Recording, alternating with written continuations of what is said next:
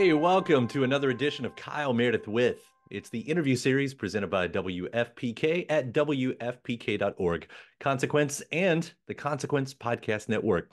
Thanks as always for making your way here for uh, for checking out the uh, the episode. Uh, I do hope you hit that subscribe button so you can keep up with all the interviews that I put out every single week and doing every Monday, Wednesday, and Friday, three a week to keep you up to date on your favorite artists and discover those new ones. You can do so any of the usual podcast places, including uh, Spotify and Apple Podcast at NPR, WFPK.org, YouTube for the video versions, or anywhere you get your podcast from. Subscribe to Kyle Meredith with. And that's me, Kyle Meredith. Today, so excited not just to be talking with actor, musician Michael Shannon and musician Jason Narducy, but also to be talking to them about this little band right here, REM. Uh, one of our uh, collective favorite bands. Uh, Michael Shannon and Jason Narducy are uh, touring and covering the first REM album, Murmur, in its entirety, plus some other smattering of other REM songs. But it's uh, it's for the 40th uh, anniversary of of Murmur, which happened in 2023. It was released in 1983. Now, Michael Shannon, of course, you know him as one of the great actors of our time. He has been in everything lately, from uh, Knives Out and Bullet Train. Before the Devil Knows You're Dead, he was in uh, Mud, Midnight Special. He's in the uh, Bike Riders this year. And Jason Narducy, one of the great uh, musicians of our time. Uh, playing in uh, well his solo thing split single i've seen him so many times with uh, bob mould over the years uh, and uh, and he he's sort of a jack of all trades and, and plays with a lot of folks. So again, they've been teaming up over the years, doing some covers, and it's all well. I can't say it's led to this because hopefully there's more of this afterwards. But at the moment, it's led to this moment where they're covering REM. So we're going to be talking about what Murmur means to us all when they first discovered the band. Uh, and uh, and then when they finally got around to discovering this album as well, what it's been like playing it. You know, uh, Stipes uh, was kind of a uh, infamous for his uh, mumbly mumbly type of vocals in those early days. So I want to hear about what that's like uh, singing that, what Michael's been like singing that. And on Jason's side, you know, tackling some of those great Peter Buck uh, riffs. And uh, and we'll get the update on what they've been up to lately as well in their musical uh, musical lives. So let's jump into it and talk about uh, talk about REM's Murmur and the tour that they're on. It's Kyle Meredith with Michael Shannon and Jason Narducy. Can, can I have five minutes to work on my hair? All the time you need from me. Yeah. Yeah. It's nice and gray and dry and it's very January outside. So in case you're You know, I'm I'm from Lexington, you know. Yeah, no, it's Yeah. I was about to say, in case you're missing anything from uh from the home area, you'd have no reason to right now. It's so here you guys are. You're you're doing uh touring. Uh, This is the first time you've toured together, right? So we're talking uh February 4th through the 14th and uh and taking on REM's Murmur. So first off, hello. It's actually and- February first. February first is Okay. the first show. Yeah, well, well, Yeah, so February this is exciting, but you know, so, I- I don't know if you guys can see this behind me. You know, I've got all the the posters and everything, and of course, Stipe kind of sits over my shoulder. We're taping this on his birthday. I don't know if that was planned on you guys, but today's his 64th birthday. Yeah, Are I you saw that. I didn't know that. Oh Yeah. wow. So it's kind of nice. Head. So, I, I, for the people who don't know, why are you covering Murmur? Because it's it it kind of lines up with last year's anniversary, right? Uh, uh, you know, Jason was kind of poking me about doing a show and asking what we should do and and then yeah, he was the one who came up with it. He said, you know, it's the 40th anniversary of Murmur this year. And uh I, mean, not that I've ever been entirely comfortable with any of the projects we picked out, uh, but that one I felt was particularly uh, daunting. I think I was. Didn't I respond like, "Are you sure?" Or I don't know. Well, I knew you loved the I knew you loved the band. And Yeah. that part was yeah. but it was just kind of like, it was kind of like saying, "Hey, why don't we, why don't we paint the Mona Lisa?" Or something. yeah.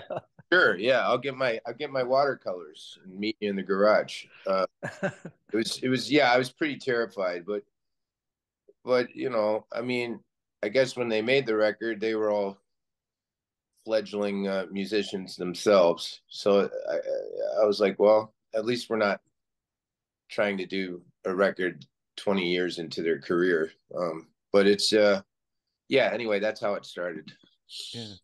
Do you all remember, Jason? Like for you, do you remember like when this record impacted you? Because I came onto REM a little bit later, um, but you know, catching up and hearing about, especially when people found them in the early 80s or mid 80s or you know whenever it was for you but especially this record like do you remember that moment for you i do uh, and it's uh mike and i it's the same record um so i was in i was going to high school in evanston and my friends and i had heard that madison wisconsin had these great halloween parties uh, so i went up to madison wisconsin on state street and it was crazy um, and walked into a record store and bought Document uh, right when it came out, and um, that you know I put the needle on when I or maybe it was a CD. I put the CD on and that that finest work song intro. Just I was hooked within ten seconds, um, and I had friends that already liked the band, so I knew that you know I probably would like them, but I didn't know I would like them that much. So that record really pulled me in, and I think that was the same for Mike and then went backwards. There was that eponymous release that was their kind of like wrap up gift with IRS Records that that pulled those songs back and you know into my consciousness for the first time. Talk about the passion in particular was just I just couldn't believe how powerful that song was. And um, so going back, there's there was a number of songs on Murmur that I actually wasn't that familiar with, particularly the the last three. Mm-hmm. and that's just you know being a young person listening to records in that way. Right. Mm-hmm. yeah. running out of uh yeah patience. Yeah. Um yeah. or you just like the beginning so much you just play that over and over. So killer. Yeah. Yeah. But yeah for me it was like um so i grew up in kentucky and i i had a cousin that lived out in the in the sticks in a in a trailer um and I would go visit him sometimes on the weekends. Uh, my mom would take us out there because my grandma lived out there too. And uh, yeah, I would just when I got there, I'd go in his room. And he he loved comic books. We'd sit and look at comic books and stuff. And and then one day he had a tape player and he and he started playing the cassette of uh, of document. And I was like, whoa, wait, what's this? It's like, oh, it's been REM so I really, yeah, I have my cousin Tommy to thank for that. Although I'm sure I would have found them eventually. But uh, yeah, and then you know when I was in high school, I guess one of my favorite pastimes was kind of shuffling around, listening to my CD Walkman player, uh, and yeah, half the time probably it was an REM CD in there, and uh, you know, it wasn't like music that uh, you play at the kegger or whatever. It was kind of a solitary thing, and you know, I found it comforting. You know, uh, I was I was kind of a loner, and it, it seems to appeal to that type of personality. Yeah, yeah, yeah. That's uh, I, I I can say I don't know if you uh, Michael know where uh, Litchfield is. That's actually where I'm from. Huh. Down closer to Bowling Green. And um, I lived in Bowling Green for a couple of years. Yeah. Yeah. Well, it's just right. It's about 20 minutes uh just north of Bowling Green. And and for those sections, and I know you sort of had that Chicago connection too, but but for music to find, you know, any of us in the middle of nowhere was yeah. always and and it was it was already it wasn't until really the monster record and i was in school and and someone at the bus put the headphones over my ears from behind and bang and blame was one of the songs playing. Wow. And but it, it it just that's what i started thinking about was like especially in those pre-internet days for both of you you know for music to find you yeah. you know and for the right music to find you i don't know how you guys look back on that but uh but to me it's like thank god you know what what a great stroke of luck any of those moments could have been for us of course, of course. But you know, I think that one of the things that's interesting about REM is without being like country or bluegrass or any sort of Appalachian rural kind of music, it still is very southern music. Like those guys, they're they're very southern and they're very like you know, they're still in Athens all the time. Um like the, the so it's it's fascinating to me because it's it's southern music without being like any genre of music that you associate with the South. which is right. interesting. But it like it suits the landscape um, somehow, like yeah. being out in the middle of nowhere. This music is is is a soundtrack for that, you know. When you now dive into it, and Jason, you were kind of talking about you know having to to discover some songs for the first time, which is fun. But I was thinking about like there are moments on here, like nine nine, you know, as a guitarist. like, are you finding those moments? Is it challenging in any way? Because I, when I hear that, I'm like, man, what, just what a fun song that is. Anyway, Mike, correct me if I'm wrong, but I, I, that was uh, this whole thing is as a bit of a, pop up band. You know, Mike and I have been doing shows like this for about ten years, and we just pick a record and then we rehearse once and do the show. It's real by the seat of our pants.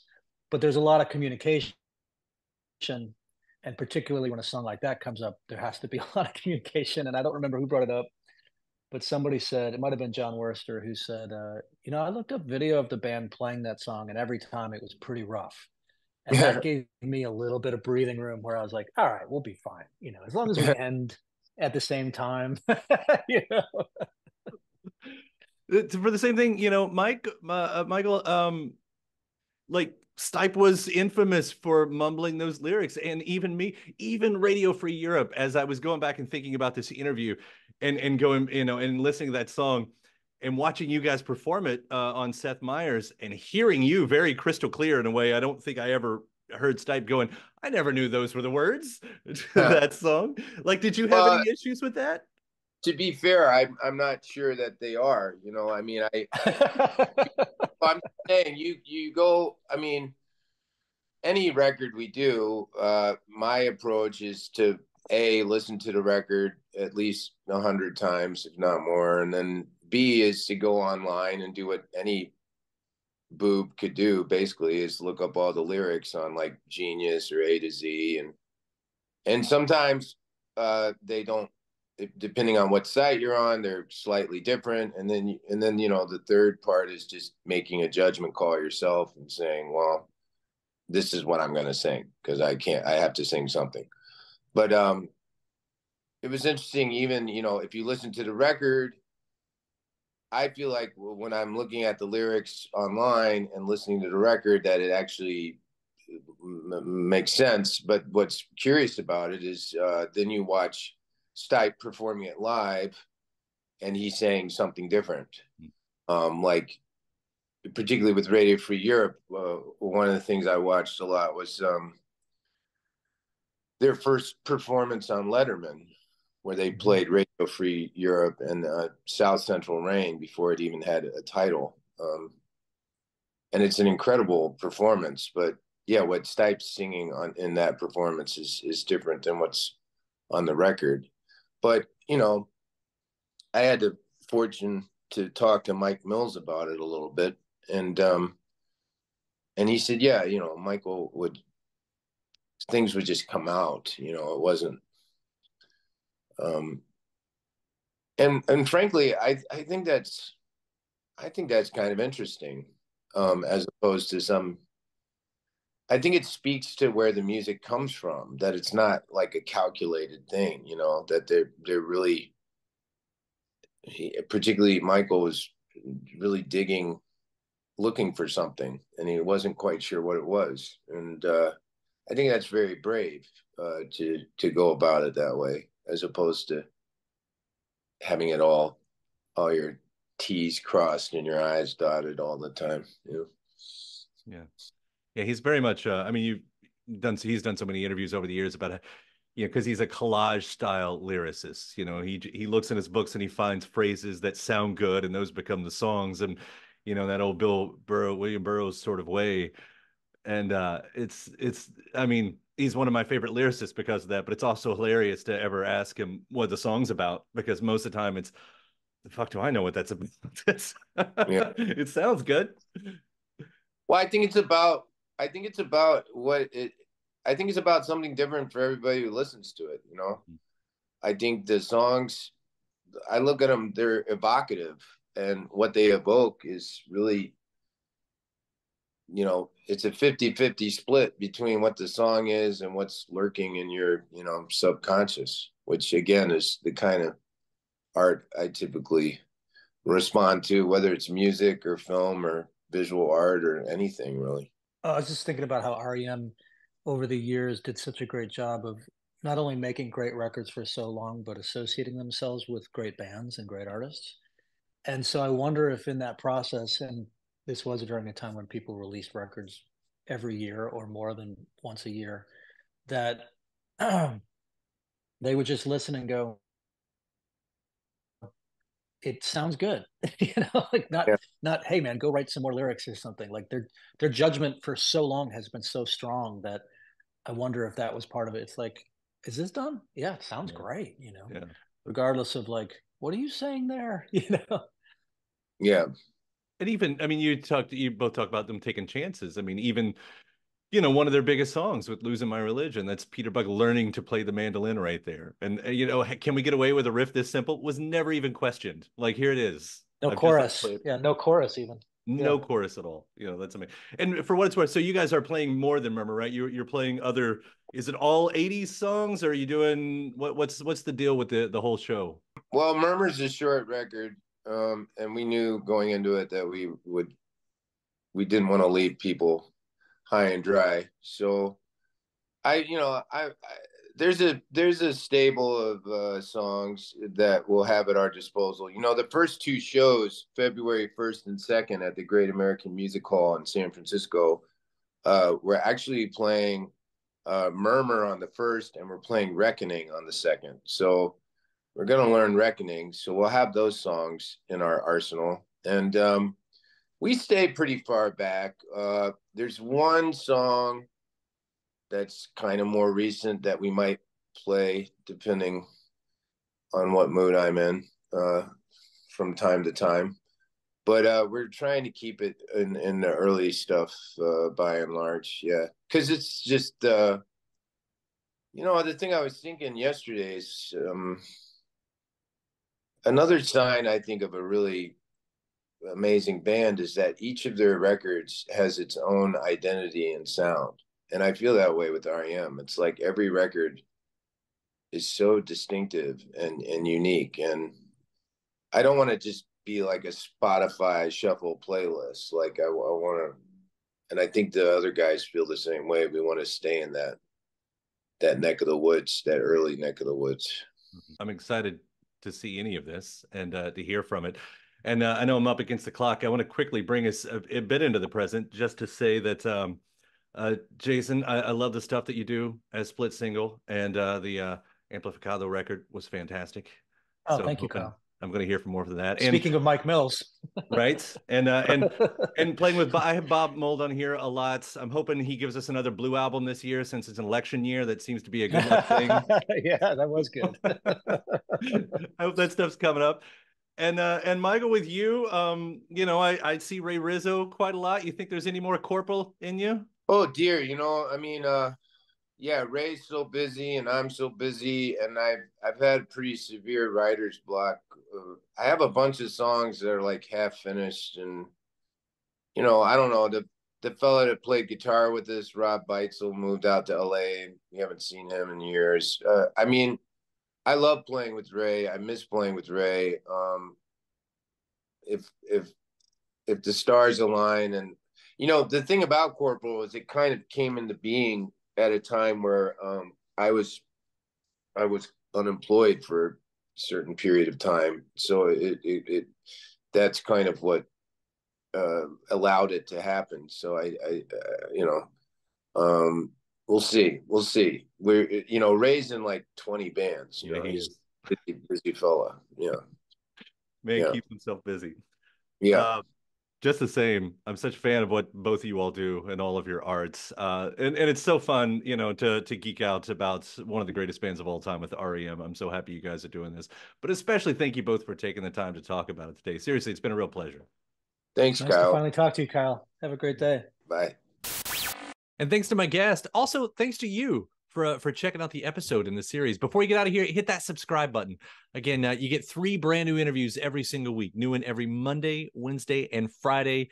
at uh, right here on YouTube or, of course, anywhere in podcast land, including iTunes, Apple Podcasts, Spotify, Podchaser, NPR, or WFPK.org as well. A great way to keep up with your favorite artists and discover new ones as well. Then after that, actually head over to WFPK.org. That's where I do a show Monday through Friday, 6 p.m. Eastern. It's an hour full of song premieres, music news, anniversary spins, bonus interviews, Monday through Friday, 6 p.m. Eastern at WFPK.org. Consequence has your music and film news. You can also find me on the social media spots uh, Facebook, Instagram, mostly on Twitter. All three of them, the address is at Kyle Meredith. Do hope you like and follow along. That does it for another edition. I'm Kyle Meredith. I'll see you next time.